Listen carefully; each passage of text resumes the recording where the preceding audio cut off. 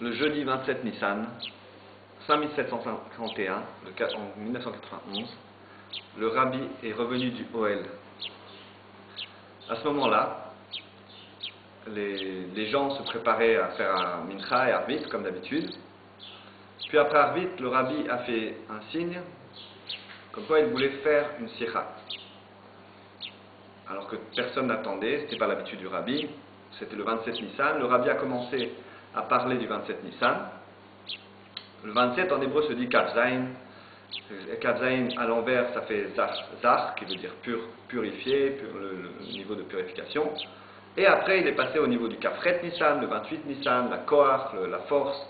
Et ensuite, le rabbi a continué la Sikha en parlant de la paracha de la semaine, en parlant de la période dans laquelle on est, à Renou Niflot, l'année dans laquelle Dieu va nous montrer des, merveilles, comme à l'époque de la sortie d'Égypte.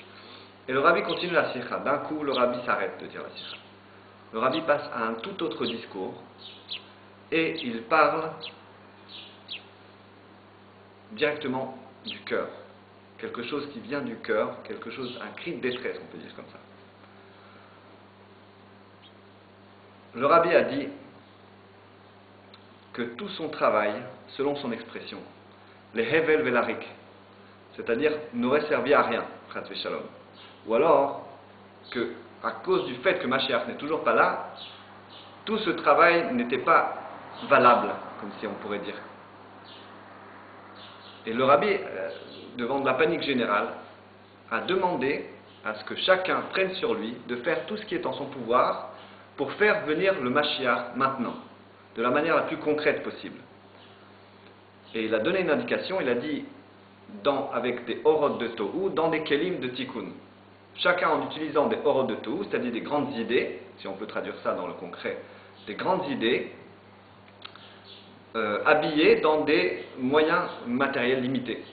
Des moyens matériels qui permettent de, faire quelque chose de concret comme par exemple quelqu'un qui voudrait faire une grande manifestation et qui inviterait ses voisins et on va faire la manifestation dans la rue. Il ne va pas réussir cette chose-là parce qu'il n'y a, a, de, a pas de structure, il n'y a pas de plan et il faut, il faut faire quelque chose de, qui, dans la réalité, puisse avoir une, une, application concrète. Une application concrète.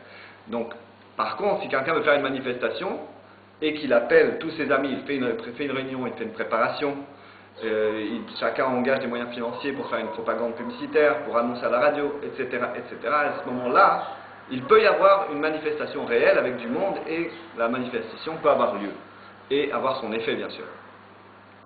Donc ça, c'est ce qu'on appelle des oro de Tohu, des idées, des grandioses idées, dans des moyens concrets, matériels, avec des applications concrètes, c'est-à-dire des kelim, des tikkun, des instruments du monde de tikkun, des instruments très solides, des, qui, sont capables de recevoir ces lumières-là.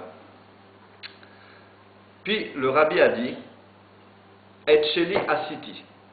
Pour ma part, j'ai fait ce qui m'était imparti. Ce qui, ce qui signifie concrètement que le rabbi a dit J'ai terminé ma mission. Ce que je devais faire, je l'ai fait. C'est quelque chose de très grave à entendre, mais c'est ce qui s'est passé. Le rabbi dit J'ai terminé ma mission. Maintenant, ce qu'il me reste à faire, c'est de vous transmettre le sujet, transmettre le Inyan, c'est ça que le rabbi Là, on, voit que le rabbi parle clairement du dossier Mashiach.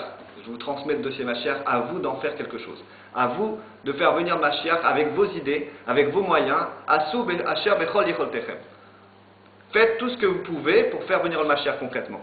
Il dit ensuite par la suite qu'il y en ait dix, dix personnes qui se réunissent et qui prennent conseil entre eux.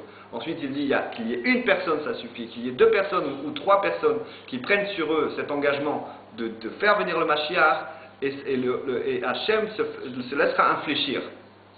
Voilà comment le langage du rabbi peut être traduit en français. Et Dieu se laissera infléchir. Pourquoi? Il donne un pasouk qui a été dit par Moshe Rabbeinu lors de la, à la suite de la faute du, du veau d'or et il dit là-bas qui ou parce que c'est un peuple à la nuque raide. Mais, entre parenthèses, dans la Sikha, il dit les Maliuta. Les Maliuta, ça veut dire c'est pas quelqu'un, un, peuple avec la nuque raide, donc il est têtu, donc il va aller contre Dieu. Au contraire, il est têtu, ainsi je vais lui pardonner. Parce qu'il va s'entêter à demander pardon. Il va s'entêter à crier Admatai et faire venir le Mashiach avec ses petits moyens à lui, chacun selon ce qu'il sait faire. Voilà la directive du rabbi de Kafret Nissan. Prenez vos euh, votre téléphone, prenez vos, idées, mettez-les sur papier, amenez du monde. Avec un petit peu de moyens, on peut faire des grandes choses. Voilà ce que dit le rabbi. Avec un petit peu de moyens, un peu de volonté, chacun va, mettre la main à la pâte, chacun sera un chaliard du rabbi dans cette chose-là. le Melech HaMashiach